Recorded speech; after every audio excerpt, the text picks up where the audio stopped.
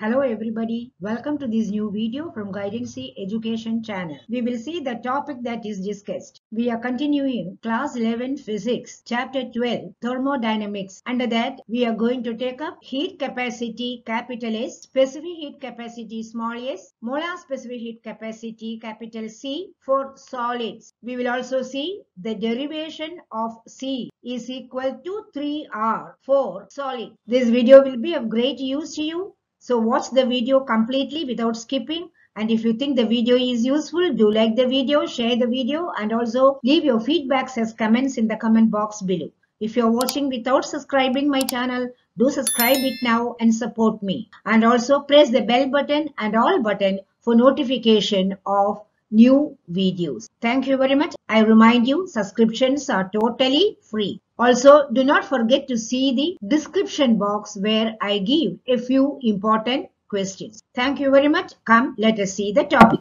We will discuss heat capacity capital S, specific heat capacity small s and molar specific heat capacity capital C. Why should we understand these topics? As per the first law of thermodynamics, we know when a certain amount of heat is supplied to a system, the system utilizes that heat energy to increase its internal energy and also do work. Different systems may have different substances and different substances have different capacities to absorb heat. So unless we know this property of the substance present in the system, we cannot supply the correct amount of heat energy so that the required work can be performed. In thermodynamics, the scale of temperature is absolute scale and the unit is Kelvin, symbol being K. First one, heat capacity capital S is the quantity of heat required to raise the temperature of a substance through 1 K. Please note that no definite amount of the substance is mentioned here.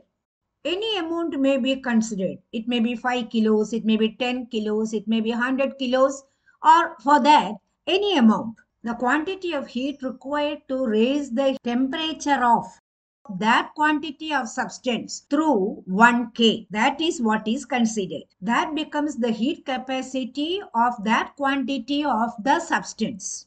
How is this quantity determined? The substance is provided with or supplied with a certain amount of heat that is delta Q and the increase in temperature is noted. Let the rise in temperature be equal to delta T then heat capacity S is equal to delta Q divided by delta T. That will give the amount of heat required to raise the temperature through 1K.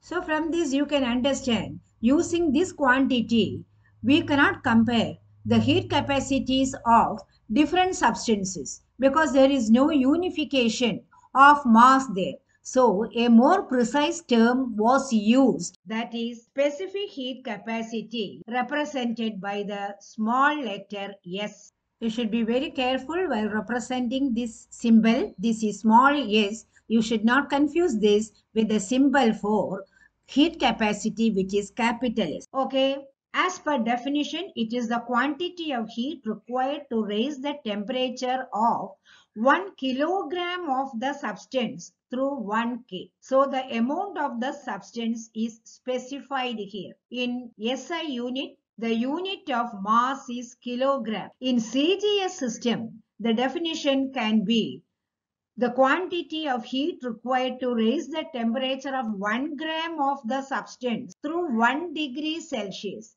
But we follow SI system. Therefore, we have to remember this definition. That is heat required to raise the temperature of 1 kilogram of substance through 1 K.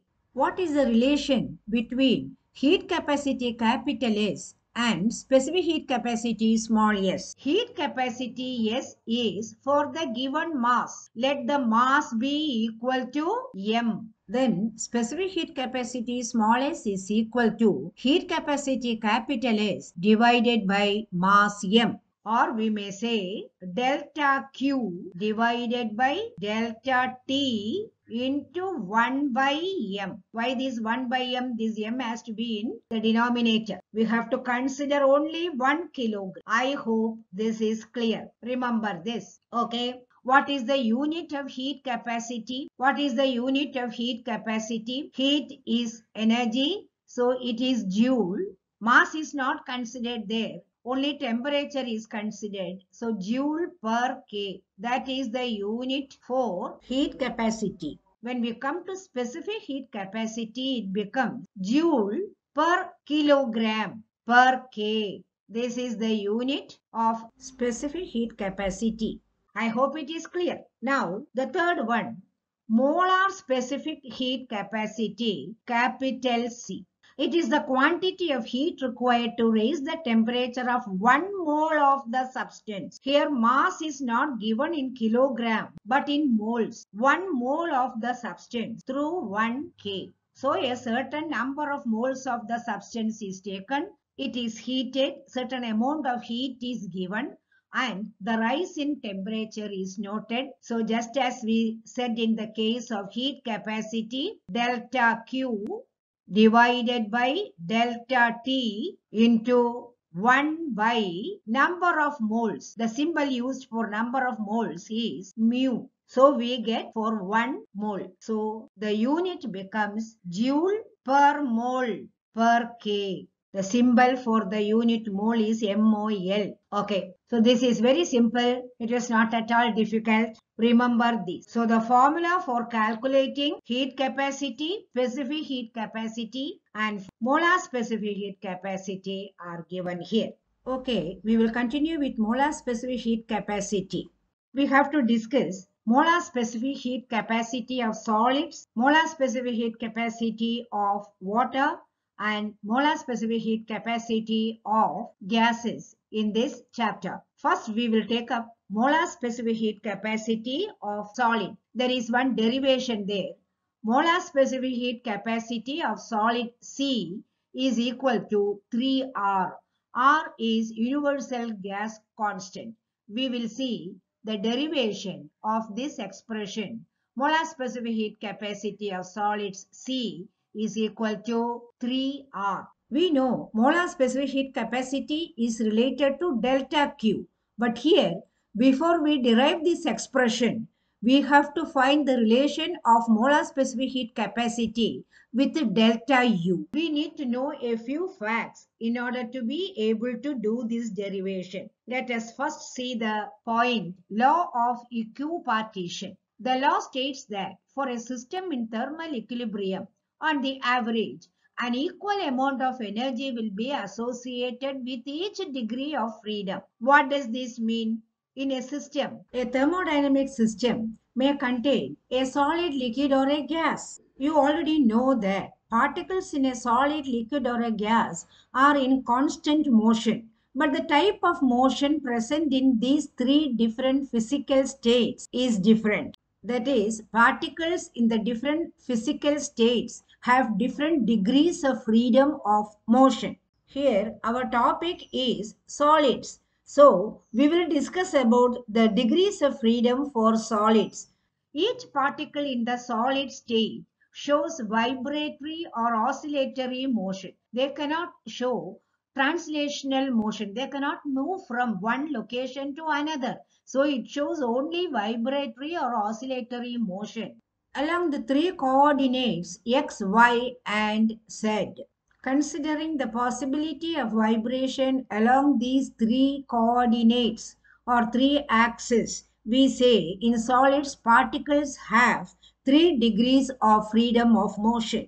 Okay. So the energy of the particle will be due to these three degrees of freedom of motion. Kinetic energy due to oscillation of one mole of particles in one dimension is a constant. Kb into T the temperature. I will just explain what is Kb but before that for three dimension that is for 3 degrees of freedom of motion, the kinetic energy will be equal to 3 kBT. That is kinetic energy in one dimension multiplied by 3. Now, what is Kb? Kb is a constant called Boltzmann constant that is equal to PV divided by Na that is Avogadro number the number of particles present in 1 mole of the substance into 1 by T. I have written it like this here. Okay. But we know PV is equal to nRT. But here we are considering 1 mole of the substance. So we are considering the number of particles. So we write PV is equal to NaRT. So Substituting for PV, 3 kBT which is the total internal energy will be equal to 3 NaRT divided by NAT multiplied by T. So you can just go through this equation. Make a note of this extra T in 3 NaRT into T, this T. I hope it is clear. So on simplification, what remains is 3RT. So we have derived an expression for internal energy of 1 mole of particles of a solid and it is equal to 3RT. This is the first part of the derivation of C. The molar specific heat capacity of solid is equal to 3R. We have derived an expression which shows the relationship between internal energy of 1 mole of solid substance and universal gas constant capital R. The total internal energy U for a system containing 1 mole of solid substance is 3 RT. What will be delta U? Delta U will be equal to 3 R delta T. R cannot change. It is a constant. It is temperature that can change. So we have this expression. Molar specific heat capacity Cm is related to heat capacity capital S by the relation Cm is equal to S by mu where mu is the number of moles. Heat capacity S is equal to delta Q by delta T. Substituting for S in this equation we will get molar specific heat capacity is equal to delta Q by delta T into 1 by mu. I hope it is clear. We are considering molar specific heat capacity. Therefore, number of moles is equal to 1. Then this expression becomes molar specific heat capacity is equal to delta Q by delta T because 1 by 1 becomes equal to 1. This is equation 2. We already have the thermodynamic equation. Delta Q is equal to delta U plus P delta V.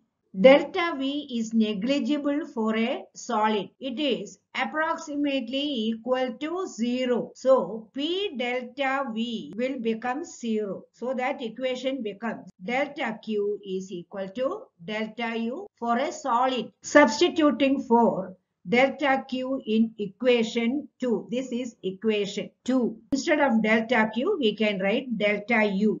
The equation becomes delta U divided by delta T. That is equation 3. Substituting equation 1. This is equation 1. In equation 3, we get molar specific heat capacity is equal to 3R delta T divided by delta T. So what happens here? This T and this T will get cancelled. So what remains? we get the expression molar specific heat capacity for a solid is equal to 3R. R is universal gas constant. What is the significance of this expression? This suggests that the molar specific heat capacity for any solid is the same. It is a constant. It is independent of temperature. Later on, when experiments were conducted, more or less similar values were obtained, but for the case of carbon, which is an exception. I hope this video was of great use to you and if you think it was useful, do like the video, share the video with your friends who may also be benefited and also subscribe my channel if you have not yet subscribed it. Also press the bell button and also the all button so that you get intimated as soon as new videos are posted. Thank you very much. We will meet in the next video with another useful topic like this. Till then, bye. Take care.